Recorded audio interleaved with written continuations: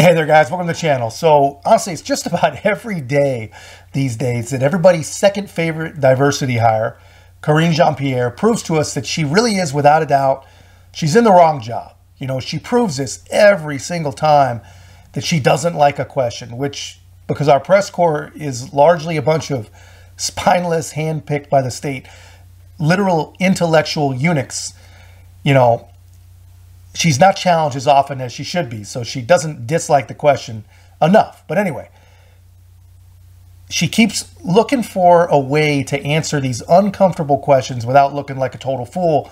And one of the ways she does it lately, it might be her smarter move. She just ignores the question. But apparently, when the subject is allegedly corrupt payments flowing from Biden to Biden, she just ends the press conference altogether like a spoiled little kid just taking her ball and going home. House is secretly funding a domestic call record dragnet administered by AT&T.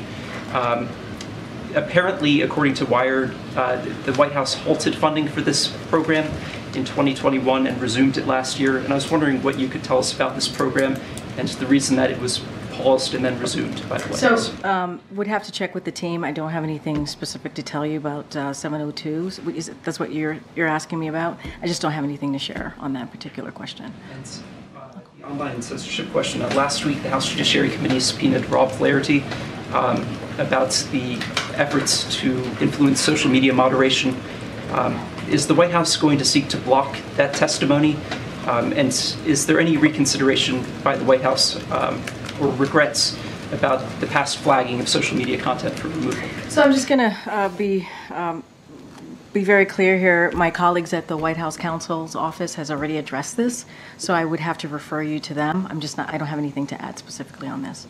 Okay. Oh, okay. Uh, Whoever, you already got a question. Go ahead, Phil.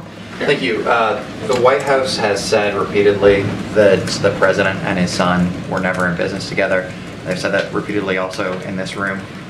Um, According to bank records obtained by the House Oversight Committee, though, uh, one of Hunter Biden's businesses, Owasco PC, set up direct payments to the president. Uh, Did the president accept payment?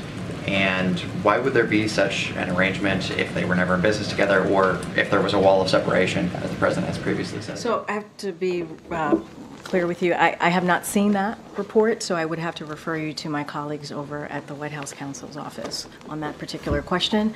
All right, everyone. See some of you in Boston or on Wednesday. Thanks, everybody. So, yeah, so guys, here's the problem with diversity hires. You know, not only are they chosen based on physical characteristics instead of merit, but here's the real problem. Once you have yourself a prized diversity hire, you're stuck. You're completely stuck with them because the same people who get preferential treatment in hiring, they're the same people that are basically impossible to fire. And the more boxes they check, the harder it is to actually get rid of them. And she's a perfect, perfect example. She doesn't even have to do her job. Her job is to answer questions that are asked on behalf of the American people. The American people, they're not asking about electric cars or very, very minor job growth. They're not asking about the CHIPS Act or whatever other nonsense these people think are an actual success. They want to know if their president and his family are corrupt. They want to know if they've been lied to. That's really all they want to know.